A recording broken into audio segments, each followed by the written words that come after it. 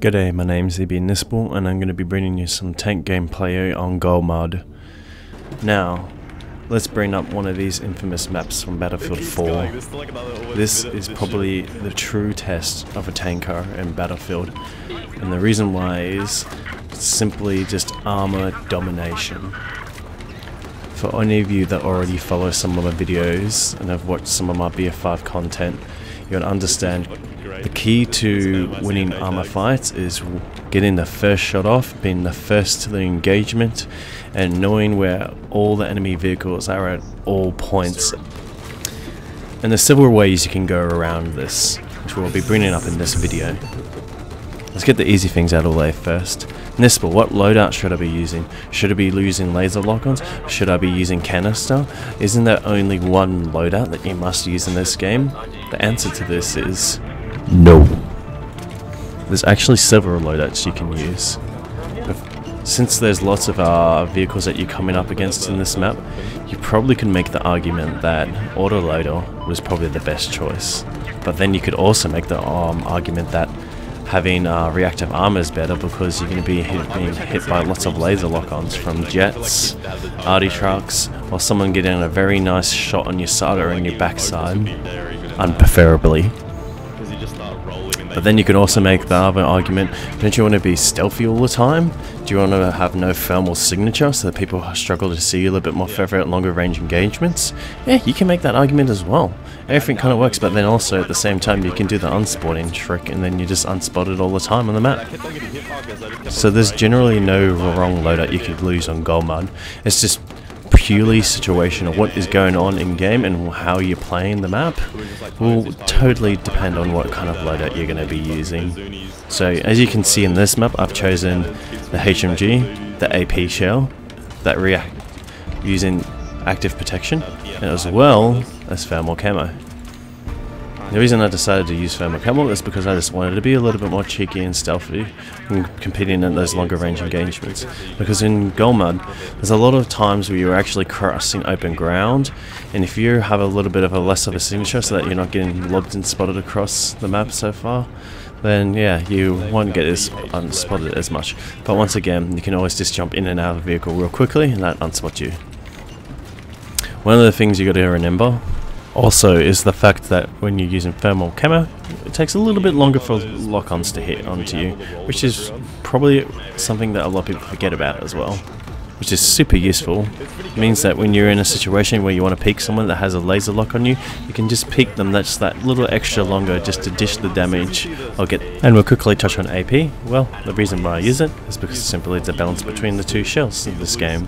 Sabot, Sabo, correction, is generally used for long range engagements, easy clips on little birds, choppers and jets, and HE being the farmer choice when combined with the autoloader.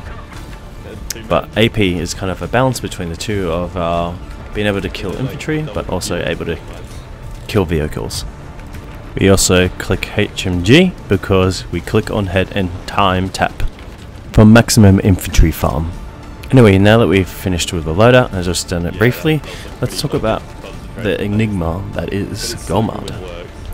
Why do you not see so many insane kill streaks on this map? Well, the amount of things you can die from on Golmud is completely endless, and because the map is so big, people that really, really, really do not like you and really want you to really, really, really die will make it happen very easily. Because the map is so gigantic, you can just go around the whole backside of the map and surprise them in the backside, where most tankers do not like being touched.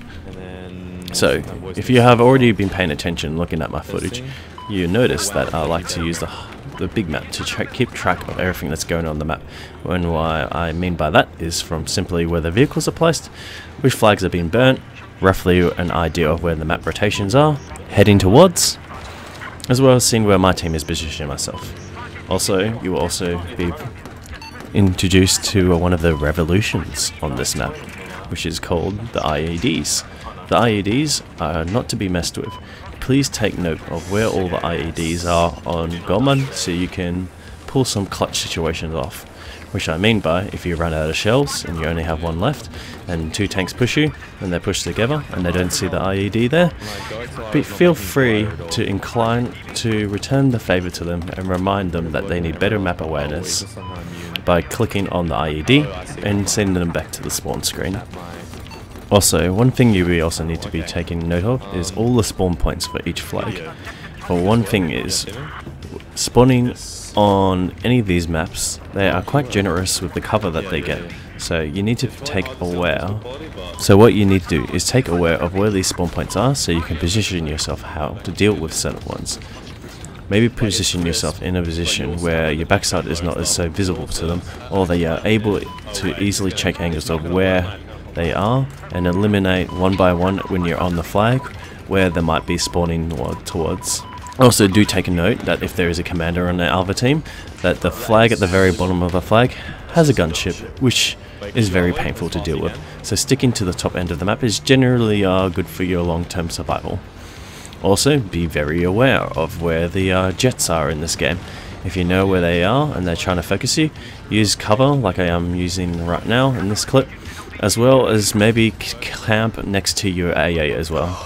Also, Every once in a while, sitting a little bit further back so you can pop off a shell on a chopper that's pestering you can be worthwhile.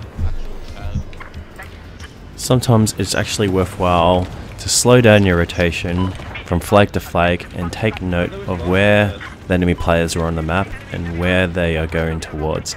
If you can't see really much going on the, on the HUD and you're not entirely sure what to do, just wait maybe 5, 10, 30 seconds, even a minute. The enemy, if you control the flags and you're winning, remember the enemy has to come to you to take those flags, so be patient. Also, pathing is very important.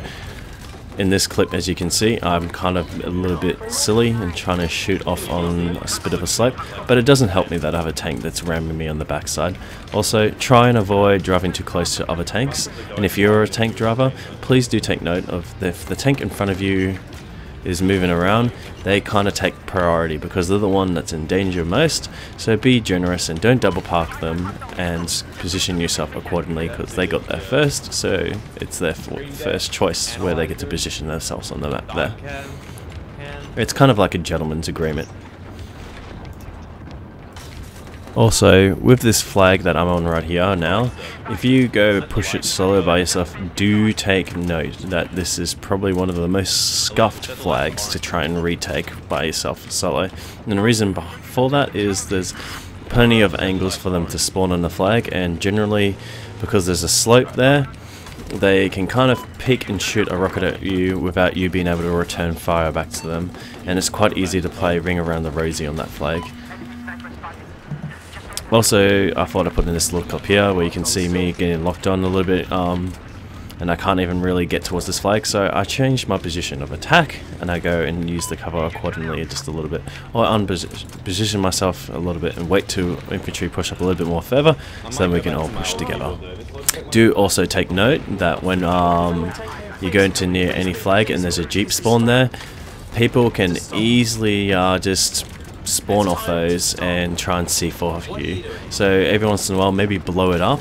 Also people like to maybe sometimes throw slams on them because when you have thermal optics on you can't really see the white on white which when you drive past with your tank might result in a sudden case of death. I know this is going to sound very scummy as well, but if you have infantry on the flag, capping the flag, kinda might want to use them as the bait because you as a tanker you can sit out in the open and some of those spawn points they have to cross the open there and it's your responsibility to shut down those spawns so that when they try and recap the flag they have no chance in hell of getting towards defending the flag and plus once they get inside all those buildings there it becomes quite tedious to completely squad wipe them as well especially if they know what they're doing, doing and they're seasoned conquest inf players.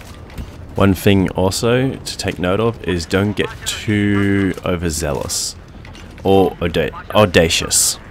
And what I mean by that is notice how each side of the map you would try and draw a line through the center of the map and that would be one side is the enemy side and one side's your side.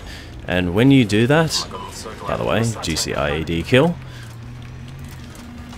Nice. You want to try and spend a minimal amount of time on their side. And what I call this zone is the amount of dying to BS zone. Or also slightly smooth overzealous brain zone. So in this zone, since because it's getting closer and closer to the uncap, there's more likely you're getting closer and closer to the respawning vehicles constantly coming towards you, which in this game you only have X amount of ammo at given time. So if you go through you are kind of in a situation where you can't return fire to the enemy whatsoever.